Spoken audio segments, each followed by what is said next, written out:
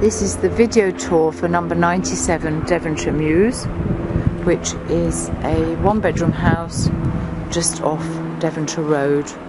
We've got a nice uh, front garden area leading up to the front door. The front door leads straight into the reception room, which is large and spacious. We've got a nice new electric radiator with two thermostatic controls. The heating is electric and very controllable. We have a brand new carpet in here and there's a spiral staircase going up and looking around the room you can see the front door from the inside and then the window with a wooden blind to um, Devonshire Road. There is a, a very large storage cupboard as part of the reception area all newly painted inside. And then we have the kitchen, which is through an archway from the reception room. We've got a new ceramic hob built under electric oven, overhead uh, fan vented outside, a nice sink unit, and in here we have the washer dryer and cleaning cupboard and there's a fridge with a freezing compartment and room for another appliance if the tenant wishes to provide their own.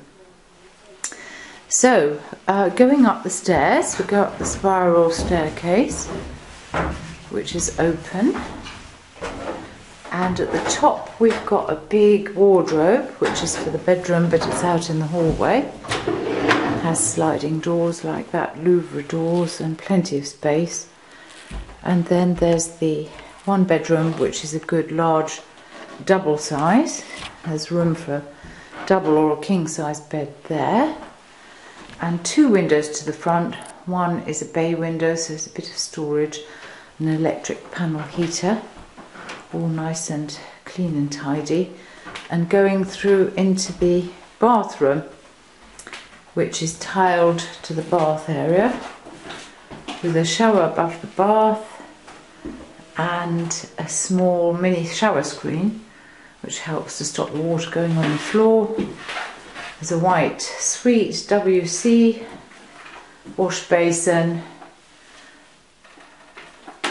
Looking to the back, a fan heater and a very large airing cupboard which contains the hot water tank and a lot of storage space. So coming on downstairs, we'll go and have a look in the back garden now, which is very nice in the middle of town to have some outdoor space of your own. And there's a car parking space at the back too, which is fantastic for central Cambridge. So we've got a small back garden, there's a bit of lawn, a little shed and a paved area and there we are going out to the car park at the back. Which you can see over here and there's an allocated parking space. That is the end of our tour of 97 Devonshire Mews